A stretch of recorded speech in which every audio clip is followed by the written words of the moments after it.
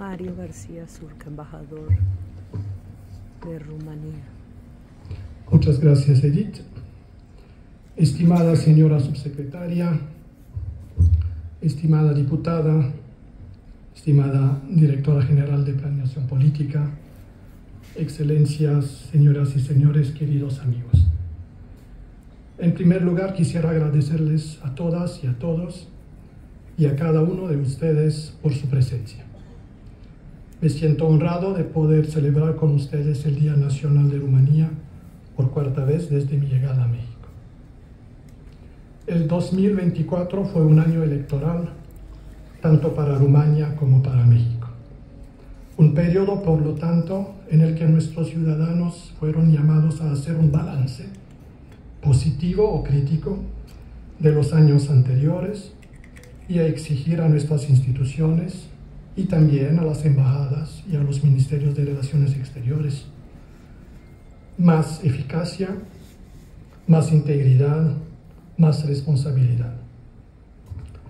Para la embajada el 2024 estuvo, por un lado, bajo el signo de estas exigencias de eficiencia, integridad y responsabilidad.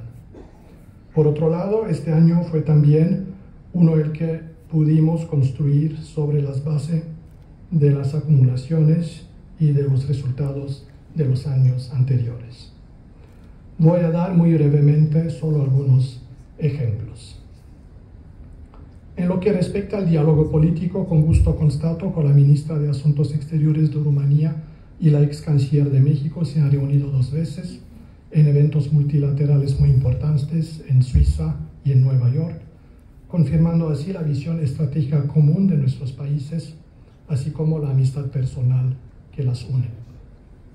Asimismo, en 2024 hemos registrado progresos significativos en las negociaciones sobre nuevos instrumentos jurídicos, lo que nos permite programar para 2025 la firma de al menos dos acuerdos bilaterales en el contexto de nuevas visitas de alto nivel.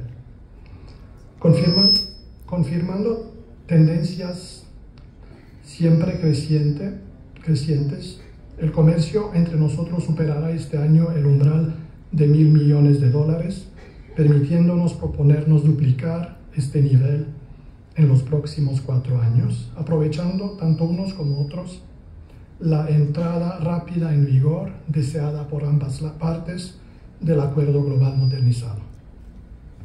Aprovecho esta feliz ocasión para reafirmar el compromiso de mi país de apoyar la finalización pronta y la entrada en vigor inmediata del Acuerdo Global Modernizado, un instrumento que tanto unos como otros necesitamos. Estoy igualmente convencido de que los futuros grupos parlamentarios de amistad entre Rumanía y México, ambos próximos a constituirse, jugarán un papel crucial en este sentido. El turismo bilateral también ha crecido al mismo ritmo acelerado que en, que en el pasado. Gracias también a los esfuerzos de esta embajada, asistida siempre por las autoridades mexicanas, esperamos superar los 40.000 turistas romanos en, en 2024. Igualmente, el número de mexicanos que descubren mi país está en constante aumento y le agradecemos al Conte Drácula por la promoción. La cooperación académica también se ha intensificado. Ha crecido el número de universidades de nuestros países asociadas mediante acuerdos de colaboración ha aumentado la movilidad académica y también el número de becarios mexicanos, cerca de 50 hasta el momento desde que yo asumí mi mandato en México. Muchos de ustedes saben que yo soy uno de los campeones de los discursos breves. No siquiera desmentir hoy este estereotipo. No puedo, sin embargo, concluir antes de agradecer a los colegas de la Cancillería mexicana y de las otras instituciones públicas de México por el apoyo brindado a lo largo de este año.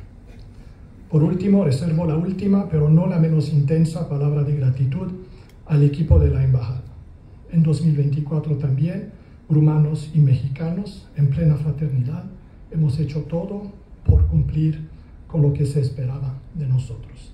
Muchas gracias a todas y a todos por su atención.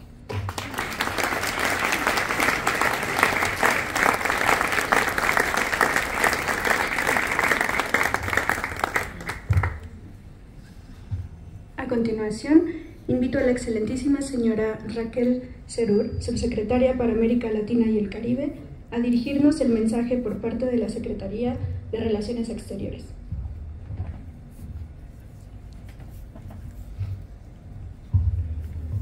Muy buenas tardes, tengan todas y todos ustedes. Excelentísimo embajador de Rumania en México, Marius Lazurka, excelentísimas embajadoras, embajadores y representantes del cuerpo diplomático acreditado en México, estimados representantes de la Cancillería y otras autoridades mexicanas, queridos amigos de México y Rumania. Me siento muy honrada por la invitación a dar unas palabras en ocasión del Día de la Gran Unión de Rumania o Ziwa Mari Uniri. Empiezo por transmitir la muy afectuosa felicitación del secretario de Relaciones Exteriores, Juan Ramón de la Fuente, al pueblo y gobierno de Rumania. Como saben, no puede estar presente hoy porque acompaña a la presidenta Claudia Sheinbaum en la cumbre de líderes del G20, primera visita internacional de nuestra mandataria. Además de honrada, me siento feliz de poder compartir esta celebración con todas y todos ustedes, pues desde hace años he tenido el gusto de conocer